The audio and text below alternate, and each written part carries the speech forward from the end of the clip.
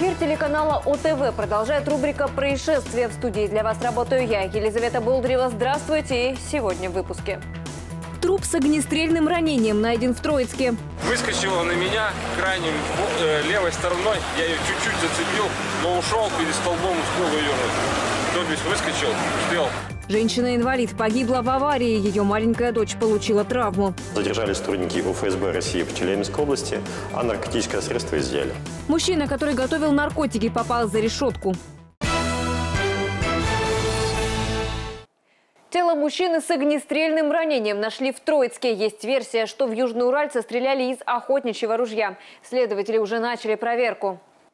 Тело 66-летнего мужчины нашли вот на этом месте возле дороги. По данным следователей, в Южноуральце стреляли. У погибшего была прострелена спина. По предварительным данным, огонь открыли из дробового оружия. Следственными органами Следственного комитета Российской Федерации э, по Челябинской области э, возбуждено и расследуется уголовное дело по признакам преступления, предусмотренного частью 1 статьи 105 э, Уголовного кодекса Российской Федерации «Убийство». По некоторым данным, погибший ранее судимый за убийство и причинение смерти по неосторожности. Убийца пока на свободе, его ищут. За что расправились с местным жителем, неясно. Мужчину, которого обвиняют в том, что выстрелил в председателя сада, признали невменяемым. Об этом рассказали прокуроры. Оказалось, что садовод заранее готовился к преступлению. Переделал длинное двуствольное ружье в обрез. Таким образом уменьшил размеры, чтобы оружие удобнее было носить с собой. И чтобы стрелять можно было не двумя, а одной рукой. По данным Следственного комитета, все произошло в помещении правления СНТ «Меридиан». Причина выстрела якобы в том, что по инициативе пострадавшего снесли пристрой к дому пенсионера. На это у председателя было судебное решение. В итоге мужчина попал в больницу, а стрелявший стал фигурантом уголовного дела по статье «Покушение на убийство». Напомню, внимание общественности обвиняемый привлекает к себе уже не в первый раз. Два года назад он устроил одиночный пикет возле городской думы. Обещал совершить самоубийство, если ему не помогут решить проблему в саду. Тогда мы рассказывали, что к участку мужчины якобы присоединили территорию, которую он не занимает, и из-за нее начали брать деньги. Так вот, во время предварительного расследования провели экспертизу. Она показала, что мужчина невменяем. Дело о покушении на убийство передали в суд. Прокуроры просят отправить подсудимого не в колонию, а в больницу на принудительное лечение. И переходим к дорожным ЧП. Смертельная авария в Челябинске. Легковушка вылетела на встречку и протаранила сразу две машины. Водитель женщина скончалась. Ее маленькая дочка-пассажир оказалась в больнице. Об этом и других дорожных ЧП расскажет Эльвира Хафизова.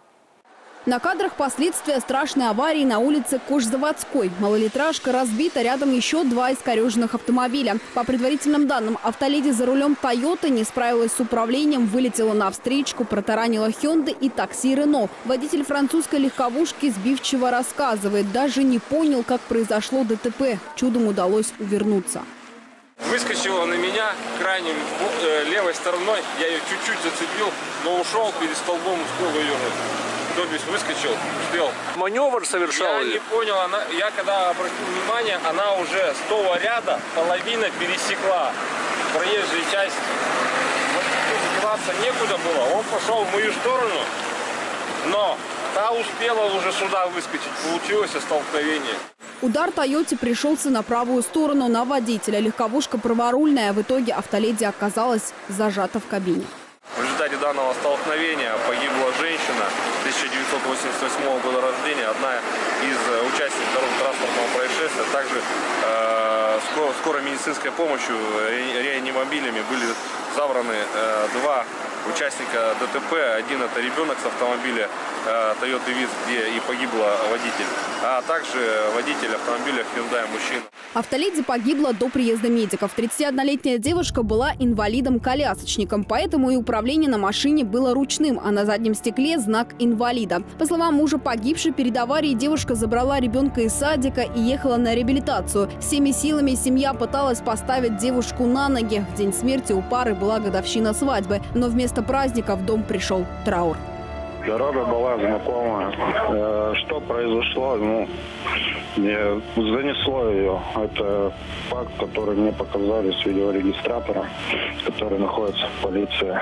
Известно, на заднем сиденье ехала дочь погибшей автоледи. Ей всего три года. Девочка была пристегнута ремнями безопасности и находилась в специальном кресле. Возможно, это и спасло ребенка. Малышку доставили в больницу, прооперировали и перевели в областную детскую. Второго пострадавшего водителя Hyundai тоже прооперировали, перевели в травматологию. Расследование ДТП продолжается. Сейчас супруг погибшей автоледи ищет свидетелей произошедшего. Если у вас есть видео с регистратора, позвоните по телефону, который вы видите на своих экранах. Добавлю, перед зимними каникулами автоинспекторы проверят безопасность перевозки детей, а также будут дежурить в местах скопления школьников.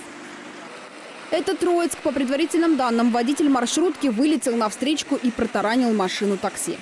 В результате ДТП водитель автомобиля «Рено Логан» э, доставлен бригадой скорой медицинской помощи в лечебное учреждение. Э, Все обстоятельства ДТП в данный момент устанавливаются. 49-летний маршрутчик и пассажиры, благо, не пострадали. МИАС. Рядом с дорогой лежат обувь, варежки и бур. Это смертельное ДТП. По данным ГИБДД, внедорожник сбил рыбака. Любитель тихой охоты, по предварительной информации, решил перейти на противоположную сторону дороги в неположенном месте.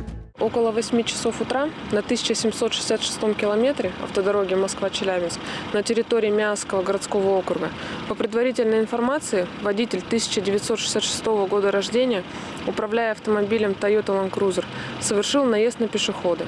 Мужчину около 60 лет. В результате аварии рыбак скончался до приезда медиков. Сейчас точные обстоятельства аварии выясняются.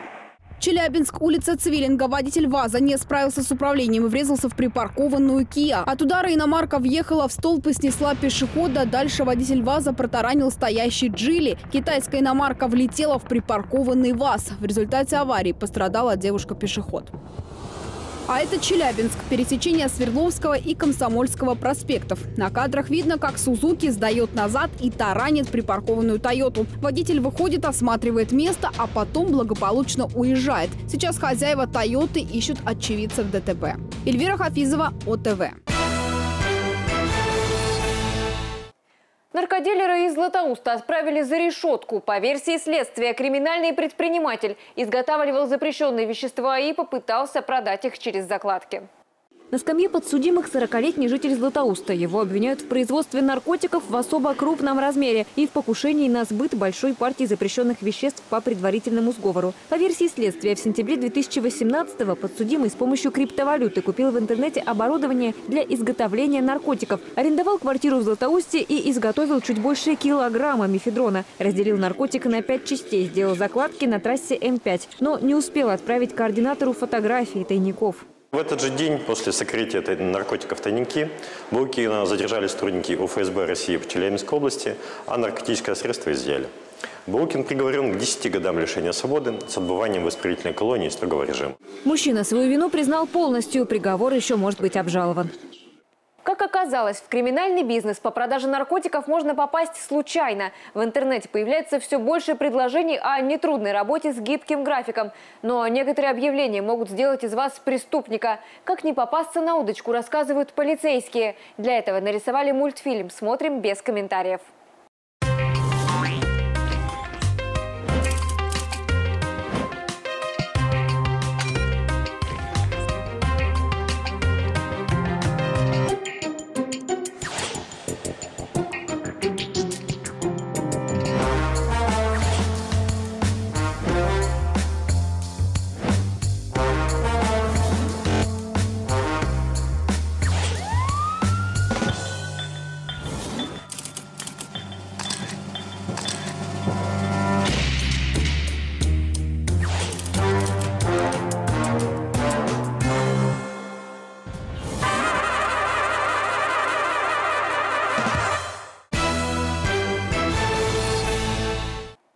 Женщину-врача, которая делала липосакцию на дому в Магнитогорске, отправили в колонию. Сначала медика приговорили к штрафу 550 тысяч рублей, но женщина его не выплатила. Даже на работу не устроилась, поэтому суд решил изменить наказание.